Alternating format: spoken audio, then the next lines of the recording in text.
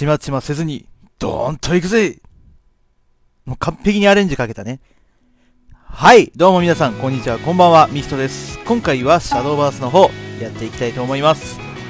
今回なんですけども、ローテーションのビショップのデッキで、はい、えー、エイラやんということでね、はい、あの、このエイラ、エイラの祈祷をキーカードとしたデッキでございます。はい。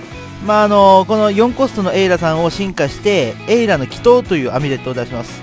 このアミュレットが場にある限り、自分のリーダーの体力が回復すれば、まあ、ゼロでもね、回復すれば、盤面にいるフォロワーが、スタッツがプラス11されるということで、はい。まあ、回復しつつ盤面強化できるっていう、まあ、とんでもない強いデッキなんですけども、まあ、あのローテーションだとね、エイラを引いて進化するしか、えー、エイラの祈祷を出す手段がないので、まあ、昔ほど強くはないと。で、なんですかね、なんか少し前に、あの、アミュレットを結晶として使う面白いエイラがあって、まあ、今回そっちの方なんですけども、1ターン目にカームフェザーフォルク、決勝で出します。カウントダウン4。2ターン目、えー、ジャッジメントスピアマスターを決勝で出します。3ターン目、正波動のスフィンクスを決勝で出します。そして、高校4ターン目、エイラを進化します。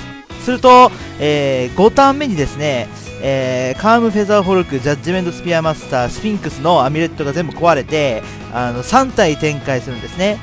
で、そこに、えー、クルトなどを混ぜると、あの、盤面にフォロワーが4体並びつつ、まあ、クルトの場合は、あの、体力を回復できるので、進化したとき。はい。わけがわからなくなりますね、盤面がもうまあ、それがかなり強い動きだということだけ覚えておいてください。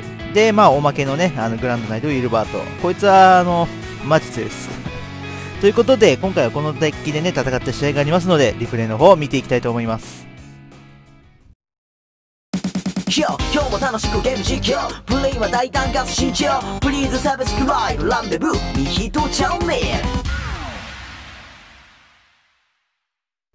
はい。それでは、リプレイの方、見ていきたいと思います。えー、おワイトさんは、ロイヤルということで、はい。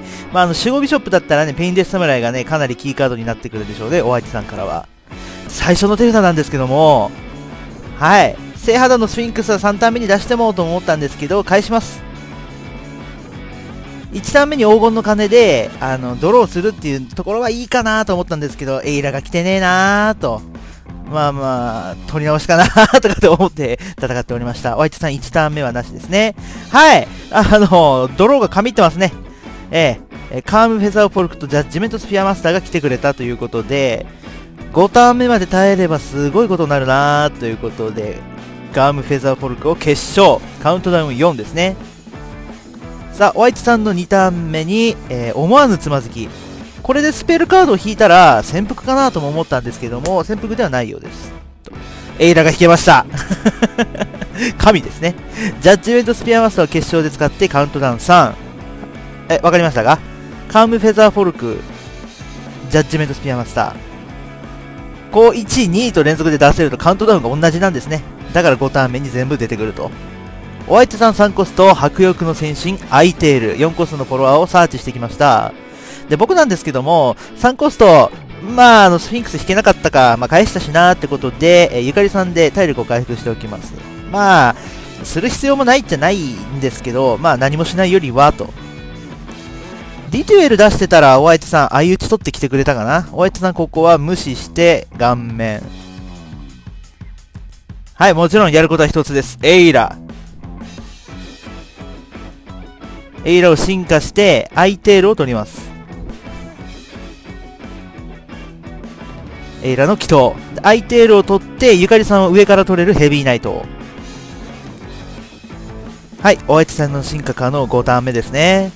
プリンセスナイト、戦う力を。で、プリンセスナイト進化してきたので、おっと、これはおそらく、しずるお姉ちゃんは、すごい速さであれしているなぁと。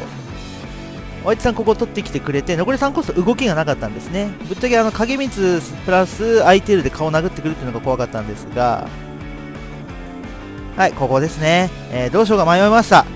このサレンをうまく使いたいな、お得進化したいなってことで、僕は、はい。まあ、あの、進化権がね、僕の方が多いので、ジャッジメントティアマスターは、はい、自分の残り、進化権がね、相手より多いならターン終了まで、このフォロワーへのダメージは0になるを利用して、上から取ります。まあ、リテールをダッシュはしましたが、はい、殴って0ダメージ。で、黄金の鐘を出します。黄金の鐘を出すことによって、次、お相手さんが誰かフォロワー1体除去したとすると、あの、サレンがね、お得進化ができます。サレンは、えー、自分の場にアメレットが2つあるなら、あ、2つ以上あるならね、このフォロワーは進化権を消費せずに進化できるんですね。はい、強いです。で、まあ、一応ユニオンバースト持ってるんですけども、まあ、なかなか活躍することは難しい。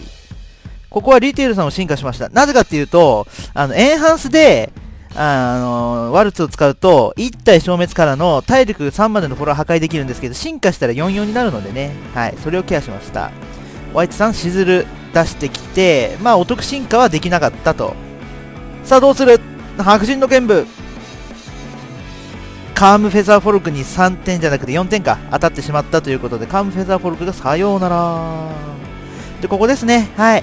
あのー、グランドナイトウィルバート引いたんで、あ、じゃあもう相手の心折りに行くぞってことで、進化権は僕の方が多いので、はい、ジャッジメントスピアマスターは、0ダメージ。7点、ドガン僕だったら心が折れてます。お相手さん、しずるお姉ちゃん。ユニオンバース6ということで、お得進化。お得進化してきますが、はい。ね。うん。あの、ウィルバートの効果が発動して2ダメージ飛んじゃうってことで、お相手さんの心が折れる。うん。お相手さんよく持った方。僕だったらもっと早く折れていた。こんな動きされたらもうたまらんってほんまに。はいどうもこんにちはあきです最後までご覧いただきありがとうございます、えー、チャンネル登録はこちらのボタン。で持って、えー、こちらが再生リストかな。でここにおすすめの動画が来て最後にここ。最新の動画でございます。ということでね皆さんハート送ってね。バイバイ。